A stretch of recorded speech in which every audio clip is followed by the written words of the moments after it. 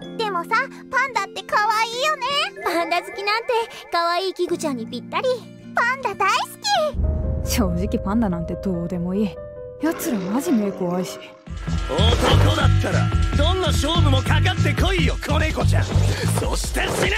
死んじゃダメです。えっ、とつまり神楽さんと同じタイプの。いや神楽よりたちが悪いんだよ。高みの見物してんじゃねえぞユキ今日こそお前をいただくぜ。さあお仕事頑張ろう。はい。あそういえば真冬さんってここではどんなキャラを演じているのでしょう。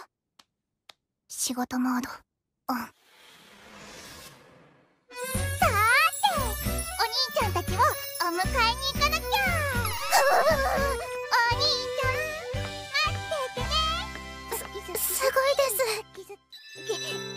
人だから秘密なんです。なるほど。やっぱりアイドルって大変なんだね。だからだから今回は今回だけは勉強がおろそかになってしまったの。でも私たちはクラスメートなんだから何でも相談してね。私様とあなたでは住む世界が違うのよ。そこんとこよろしくチクよろ。じゃあニナさんお気持ちだけはいただいておきます。どうもありがとう。キグあんたは当たったら何に使うの？え？聞きたい。何？どうする？な、なんか期待されてる。大好きなヨーグレットでお家を建てるの！らしいね。かわいい。なわけねえっつうの。期待通りの答えをするのも疲れるわ。さあどうぞ。ありがとうございます。そういえばあなたお名前は？私エルシーって言います。ここのお父様の隠し子です。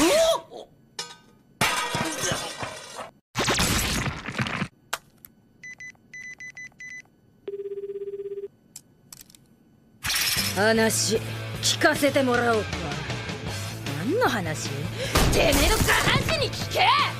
もう帰ってくんねルナちゃんもさ強がりばっかり言ってないで一緒に行けばよかったのにそんなわけないでしょ下僕のくせに知ったうな口聞こんでないわよそそんなことより。えやっと二人っきりになれたんだから。一緒に住んでるのに二人っきりになることって一度もなかったじゃない？私待ってたの。シャッキンキグ赤ちゃんの作り方分かってる？えき期待されてるな男の人とチューするとコウノトリさんが運んできてくれるの。かわいい。そうだよ。まだ知らなくていいんだよ。ち期待通りの答えするのも疲れるわ。でも妊娠なんてそうそう簡単にできるものじゃない。うわあ鼻にできますよ。やはりピンチな感じ。大丈夫です。この私に任せてくれてめえは突っ込んだろ私の見せ場が。お前ら完全に目的忘れてるだろ聞いたの？聞いてないって言ったら信じるか？うん。誰かに話したら容赦しないから。大丈夫。冤罪じゃないから。あんたの指紋これでべっとりついたから。裏切ったら許さないから今ここで知ったことを誰にも話さないと誓えるかどうか。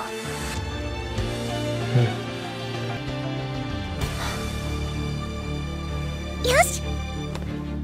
また秘密ができちゃったね。